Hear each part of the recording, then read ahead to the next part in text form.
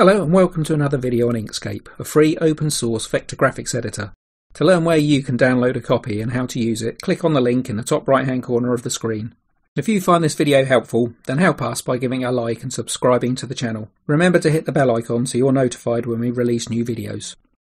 In this video I want to take a look at clipping and masking and how we can use it to create some nice effects. A lot of people associate vector graphics with um, images like this one, where it's just block colours to make up the image. A lot of people don't realise that you can, with a few simple techniques, create images like this chili, where we've got reflections, shadows, and it just generally looks altogether more realistic. So I'm going to show you in this video a few simple techniques you can use to, to get your images to look more like this one.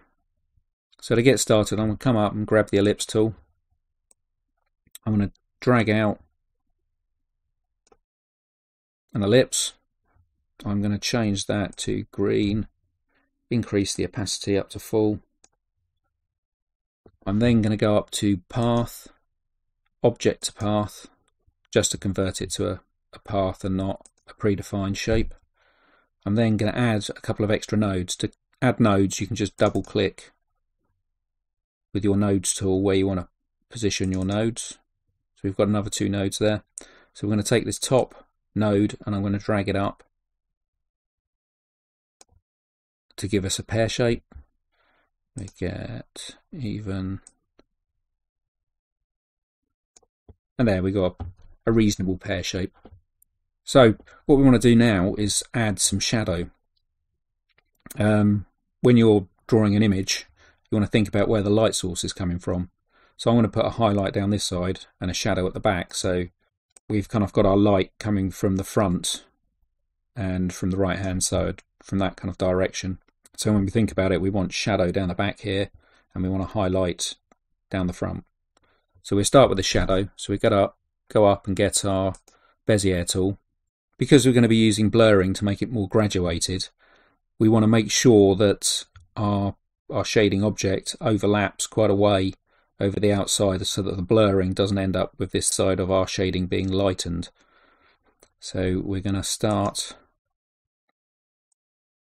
just drawing around the outside.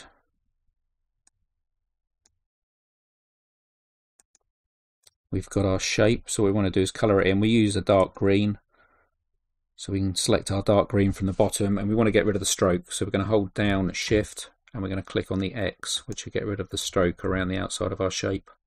So this is our shading that we want. To cut it out to the same shape as the pear we need a cookie cutter. So what we're going to do is we're going to come up, grab our selection tool, we're going to come down, select the pear and we're going to press Control D to duplicate it. Now this duplicated shape is going to be our cookie cutter to cut out around the pear shape. So if we have that selected, press shift, select our shading area, and then we're going to go up to object, down to clip, and we're going to click on set. And that gives us a nice clean cut edge. Now, at the moment, we haven't got this nice graduated um, shading, but what we can actually do now is use blur. So if we get blur and drag it over, it only blurs the edge of our shaded shape. So the piece that we've cut off is also blurred around the edge. But the actual clipping clips a nice sharp edge to our shape. So this gives this ability to have a nice crisp edge on one side and a graduated um, shading on the other. So we can do the same again with highlights. So we just come up, get our Bezier tool. We're just going to draw out a rough highlight shape.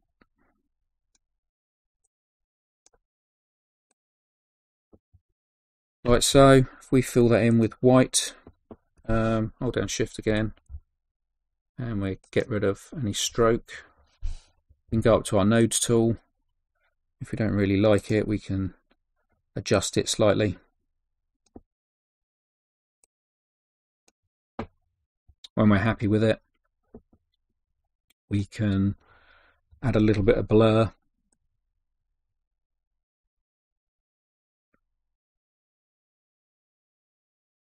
what I'm going to do is I'm actually going to change it to a lighter green. So I'm going to select the green from down here, which is the same at the moment, and then I'm going to come up to the fill and stroke box, and I'm just going to drag down the lightness to make it lighter.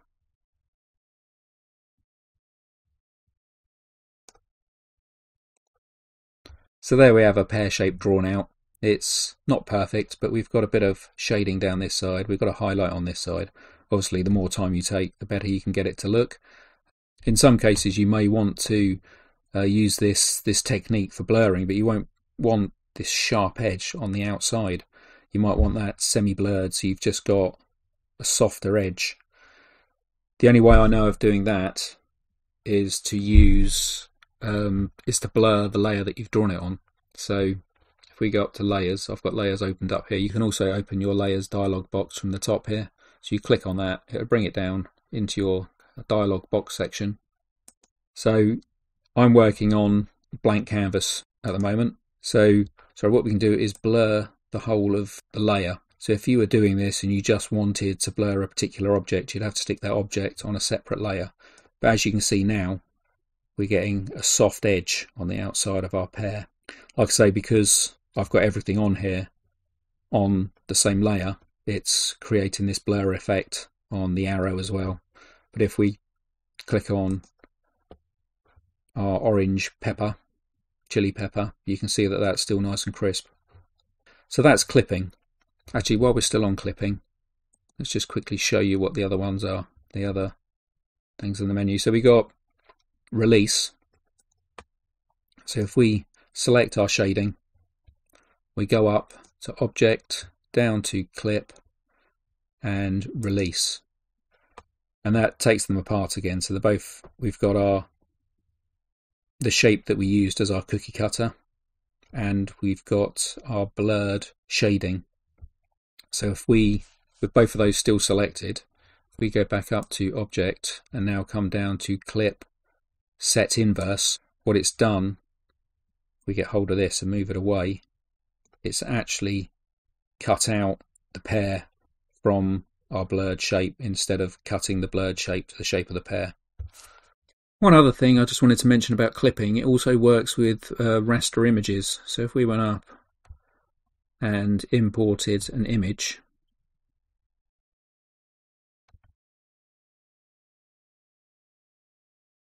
Just to all the settings.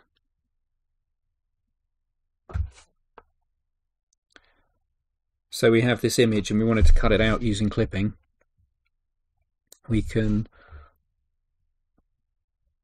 draw a shape over the top, same as we would when we're making up our art. We can go up, oh hold on, hold down shift, hold down shift, select the image as well. So we've got the image and the clipping path selected. Then we can go up to object, down to clip and set. So we can cut out images the same way. This is quite handy if you want to put it inside writing or inside an you know an image of something else. So let's get back to our pear. So the other thing I want to talk about is masking. Masking is very similar to clipping, except we can use gradients to graduate um, how much of the image shows. So if we look at our our green chili here, you can see that I've got this reflection underneath. So I've used a mask here to cover up some of that um, chili. We do a similar thing here. We're going to group this lot together. So we're take all of our bits and bobs. We come up to group. Then I'm going to press Control D to duplicate. I'm going to click on it. I'm going to go over to our snapping menu on the right hand side. I'm going to turn on snapping. So we need to enable snapping to boundary boxes and I'm going to use snapping to boundary box uh, edge midpoints. And we need to make sure that our rotational centers down the bottom are um, enabled as well. So I'm going to take the rotational center, I'm just going to snap it to the bottom midpoint of our boundary box. I'm then going to use flip it vertically. So we've got a reflected image down the bottom, or what's going to be our reflected image. Then I want this to be graduated so it, it disappears the further away it comes. To do this, all I'm going to do is drag a box over the top. We'll turn it to black. Now with masking, the lighter it is, the more visible the object is underneath. So if we have black at the bottom and white at the top, everything that's black will be completely hidden and disappear. And everything that's white will be visible. Sorry, we come over to fill and stroke. We're going to change it to linear gradient. So we've got a linear gradient. I'm going to drag the black stop down to the bottom and I'm going to take the transparent stop up to the top. So I've, I've found to get the best results I use black graduating to white, fully opaque. So for the time being we can leave it transparent at one end but what I will do is take the colour and take it to white. I'm going to move the bottom stop up so we lose some of that pear. If we go to the top stop now, we want this one to be fully opaque and white. So we'll turn that right up. We're going to get our selection tool. We're just going to drop it down one so it's behind our pear. If we click off, so we'll select our pear. We're keep it selected, but we're just going to drop it down behind our masking path. And holding down shift, we can select our mask. And then we can go up to object, down to mask, set. And as you can see, we've got this nice graduated effect as it disappears. The other thing you can do if you think this is this is too strong is you can use the opacity just to reduce it slightly so it looks more like a a subtle reflection. The other thing I had in the image that we looked at at the beginning was I had some shadows just underneath our image. So the way I created those was just take the ellipse, the ellipse tool, drag out an ellipse just to sit roughly where we want it. We turn off snapping because it can be a pain when you don't want it on. Um, we make our shadow black and we can turn the opacity up for the time being. So now we're going to blur it. So we can come over to our blur, put a bit of blur on. That looks quite good. So we need to raise our pear. If we select our pear, we take that to the top. So if we come over, take it to the top, so the shadows behind it. They can just leave it like that. If you think it's too dark, you can reduce it. Um, quite often what gives a nice effect is if we keep that, we're going to press Control D to duplicate it and then we're going to shrink it down so it's a,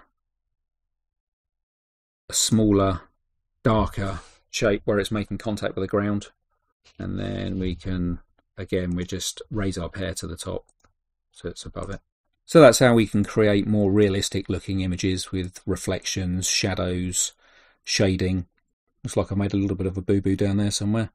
I seem to have lightened up the bottom of my pear. But you can sit there and work on your art until you've got it looking nice. As with clipping, when we're masking, we have the same things that we can use. So we've got, we can set it, set inverse, and we can release it if you ever want to go in, change something, and then you can reset it afterwards. So I hope that's been helpful. I'd like to know whether or not you knew about these techniques before. So yeah, please leave me a comment below. If you've got any questions, again, leave a comment below and I'll get back to you. Thanks very much for watching.